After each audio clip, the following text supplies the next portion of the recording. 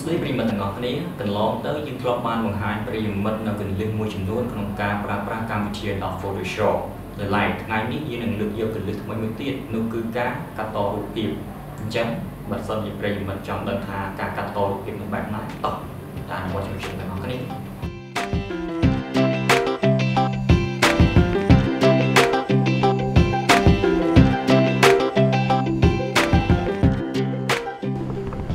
ដំបូងដំណើរការកម្មវិធី Adobe Photoshop CS6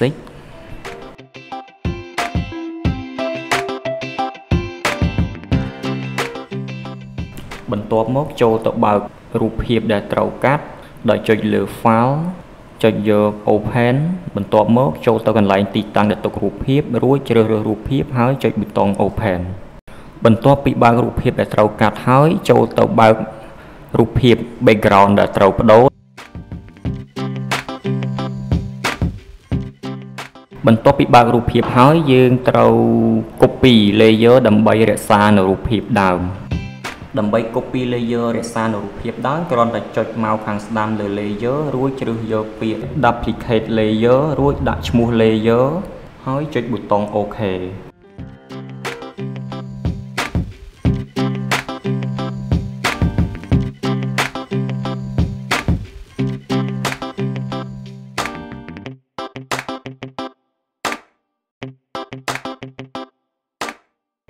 បន្ទាប់ពី copy layer ដើម្បីរក្សារូបភាពដើមហើយយើងចូលទៅដំណើរការក្នុងការកាត់រូបភាពដូច្នេះក្នុងការកាត់រូបភាពគឺមាន tool ជាច្រើនដើម្បីប្រើដូចជា Quick Selection Tool Magic Wand Tool Lasso Tool Polygonal Lasso Tool Magnetic Lasso Tool និង Pen Tool ជាដើមហើយ tool នីមួយៗគឺអាចប្រើក្នុងការកាត់រូបភាពទៅតាមប្រភេទផ្សេងៗគ្នាដូច្នេះដូច ដែលរូបភាពក្នុងឧទាហរណ៍នេះស្រាប់គឺយើងអាចប្រើ Quick Selection Tool បាន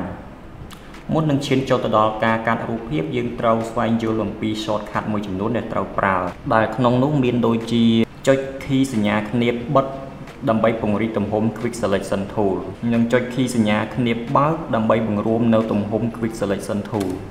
ហើយដើម្បីពង្រីកនិងបង្រួមទំហំរូបភាព គឺយើងគ្រាន់តែចុច Alt ឲ្យជាប់ហើយ scroll mouse ក្នុងនោះដែរដើម្បីចាប់ទាញរូបភាពដើម្បីផ្លាស់ប្ដូរទីតាំងផ្សេងផ្សេងដើម្បីងាយស្រួលក្នុងការកាត់គឺគ្រាន់តែចុច space bar ឲ្យជាប់ហើយប្រើ mouse ដើម្បីទាញរូបភាពបន្ទាប់ពីស្វែងយល់អំពី shortcut ក្នុងការប្រើហើយគឺយើងត្រូវចូលដំណើរការទៅកាត់រូបភាព ដោយគ្រាន់តែចុច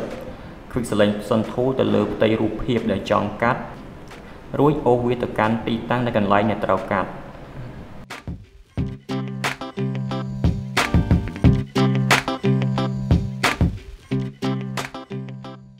ដើម្បីកាត់ select ចេញពីកន្លែងដែលទីតាំងដែលមិនចង់កាត់គឺគ្រាន់តែចុច Alt ឲ្យជាប់ហើយចុច Quick Selection Tool នៅ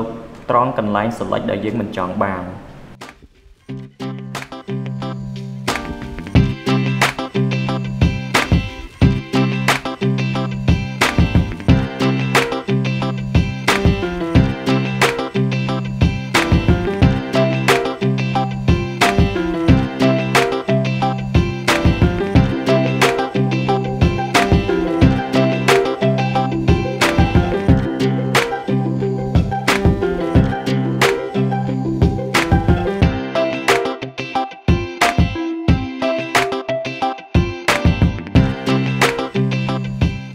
ពី select រូបភាពរួចហើយយើងអាចប្រើ move tool រួចចុចនៅត្រង់រូបភាពដែលយើងបានកាត់រួចហើយទាញវាចូលទៅកាន់រូបភាព background ដែលយើងចង់ដាក់ហើយដើម្បីពង្រីកនិងបង្រួមទំហំ layer ដែលយើងបានទាញនោះឲ្យសមស្របជាមួយនឹង background ថ្មី គឺយើងគ្រាន់តែចុច Ctrl T ហើយចុច Shift និង Alt ឲ្យជាប់រួចប្រើ mouse ទាញនៅជ្រុងកែមនៃរូបភាព ពង្រីកពង្រួមតាមដែលយើងចង់បាន ហើយចុច enter ឬចុចសញ្ញាគ្រីសនៅផ្នែកខាងលើនោះ ហើយដើម្បីបញ្ច្រាស់ទិសរូបភាពឲ្យសមស្របទៅនឹងរូបភាព background យើង គឺយើងអាចចុចបដូរវាបានដោយគ្រាន់តែចុច control បូក T ហើយចុចមកខាងស្ដាំលើវាយកពាក្យ flip horizontal ហើយចុច enter ឬចុចសញ្ញា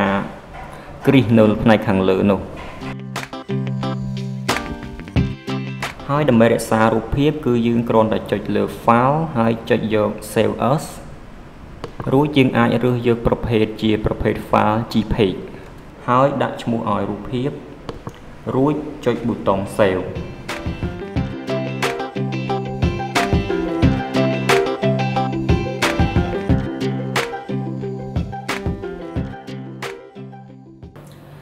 វីដេអូកលិតនេះបានមកដល់ទីបញ្ចប់ហើយដូច្នេះបើប្រិយមិត្តមានចម្ងល់ឬមិនយល់ត្រង់ចំណុចណាអាចសរសេរជា comment នៅខាងក្រោមបានសូមអរគុណជួបនៅវីដេអូក្រោយ